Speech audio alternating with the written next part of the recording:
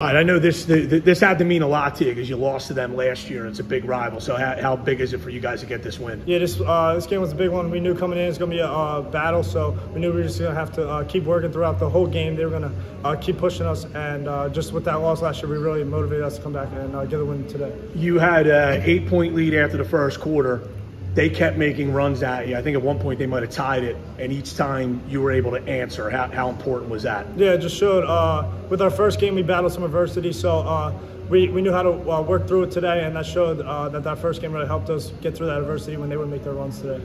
Um, we had you guys for 10 or 11 offensive rebounds. How key was that? Oh, yeah, really key. Coach has been harping on it all year. Crash five to the boards, crash five to the boards, uh, and don't bring anyone back. And uh, that's something we've been working on all year. So uh, we knew to keep working uh, when it happened today.